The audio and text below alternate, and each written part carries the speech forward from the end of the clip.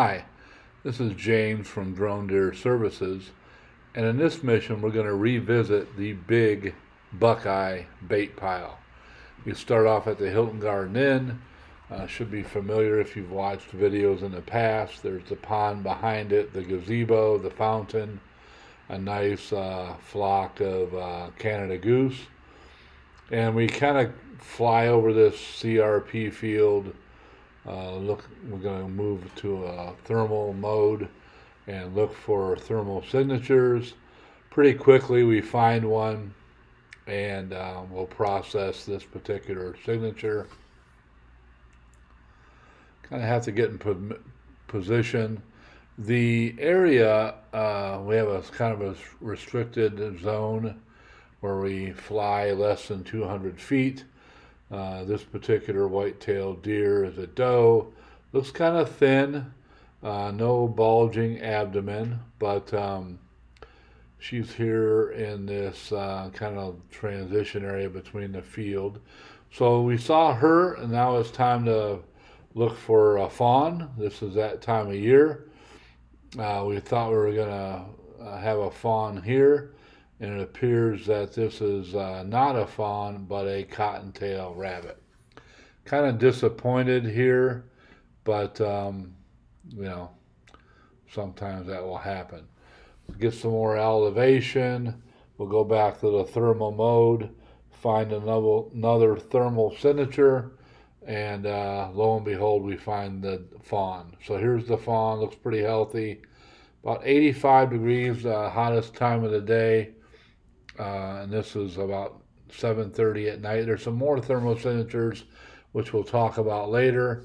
We'll continue to process this particular area as we move uh, through here down the lane. Like I said, 85 during the day and then cooled off at 7.30 at flight time. And we were flying um, at 200 feet or lower. So here's that inside corner with the CRP field and the big Buckeye bait pile. There's some, some kind of logs or something there. Another thermal signature might have been a fawn, but uh, we discovered it's a cottontail rabbit.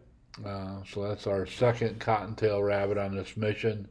And looks like to be some signage that we hadn't seen before. And as we look here, we have posted no trespassing, keep out signs. So um, um, that's what we have. There's our big Buckeye bait pile. I imagine if you're going to post something, you'd post it there. So about 40 feet from the bait pile, we have signs. About 10 feet from the bait pile, we have a trail camera. Uh, looks like we're ready to go with this uh, setup. Uh, this is in Findlay, Ohio. Uh, light industry, um, residential area, uh, but it looks like we have a deer hunter back here. Hopefully it's archery um, and not a firearm. Uh, looks to be a little bit close to houses and buildings. But anyway, um, spin around here, find uh, our uh, next thermal signature, kind of in this transition area with these low trees. There's a deer tucked against that uh, low, uh, kind of a smaller tree there. Have to position ourselves because in this particular shot I cannot see the head.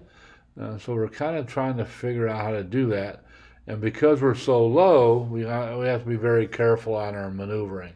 Uh, so here's the deer as it moved away from the tree, and we see that this deer is actually a buck. We're going to pay particular attention to the antlers here. Um, you know, not very pronounced, uh, not very long. We're going to see a deer later in the video that I do not believe is the same deer, but uh, I'll let the uh, viewers decide. But we'll pivot away from this deer, look for more thermal signatures, maybe groundhogs, maybe other deer. Um, as we go down this kind of like a two track and we spin around. This is our area that we've seen groundhogs and deer in before, uh, but uh, no such luck uh, on this particular mission.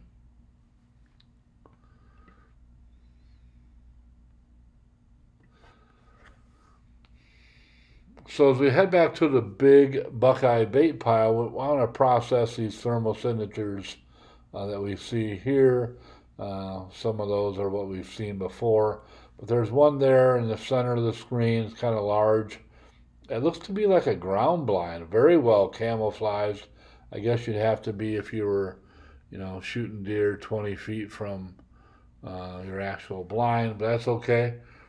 Um, and then we have uh, three human beings. So we have a brunette, a blonde, and another brunette as they walk down this two track. Not sure what they're doing here. Uh, we'll find out, I guess. Um, but keep in mind, the first doe we saw is about 100 feet, excuse me, 100 yards. If they keep going in that direction, they'll run into her. And about 80 yards, they'll run into the fawn. So uh, that's how close they are to actual deer, and they're less than 100 yards from the big buckeye bait pile. Uh, watch these folks uh, move along here.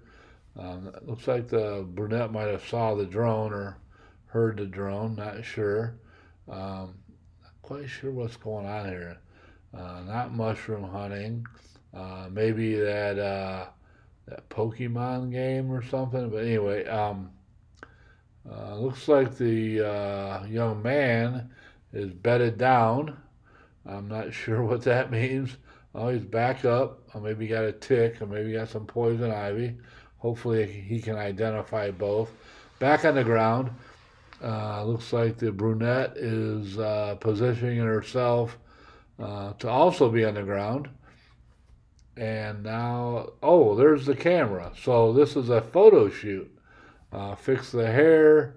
Uh, blonde uh, is taking the photos, maybe an engagement photo, not sure, but um, just young folks out uh, on a Wednesday evening in Findlay, Ohio, right next to the big Buckeye bait pile. So that was interesting. So we went back to the big Buckeye bait pile while uh, right after the the young folks there and when we came back, we saw a deer, and this deer is standing right in the middle of the big, big buckeye bait pile. Um, not sure if it's the same buck we saw earlier. I'll let you guys uh, decide. It looks like the little nubs are a little bit longer in this deer, or it may appear that way because uh, he's standing in a sea of yellow, and um, maybe maybe it makes it easier to see uh, the actual antlers. But at this particular time, we are 72 feet above uh, this whitetail. Um, might might think something's going on, whatever. That kind of gives you a view of maybe four foot uh, diameter big buckeye bait pile. And uh, this deer's here. He's gonna mosey off. Um, tired of the corn. Uh, those cut logs may be uh, interesting to him. Uh, looks like he's approaching them from downwind, which not sure why you would do that with logs, but there may be human scent on them. And as this deer approaches, it's kind of wild. He goes right to where the saw actually touched the wood and smells. So uh, interesting deer behavior here. I'm running out of battery. Kind of want to uh, get back, uh, um, you know, my bedtime basically. I go to sleep early. Uh, there's the uh, road that the the trio was parked on uh, for their photo shoot as I leave the big Buckeye bait pile, I, will fly above the Holiday Inn uh, pond. It's not as bright blue as the Hilton Garden Inn.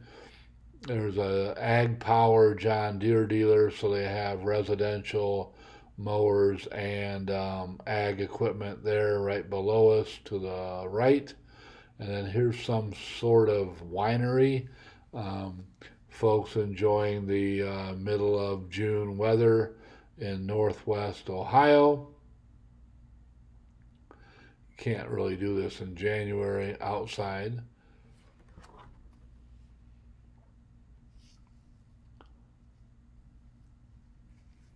But as we return to the uh, Hilton Garden Inn, uh, the Holiday Inn's on the left. We have uh, some flags here. The state flag of Ohio is on the left. The uh, American flag is in the middle. I think that's the Hilton flag on the right. We'll fly over the Hilton Garden Inn.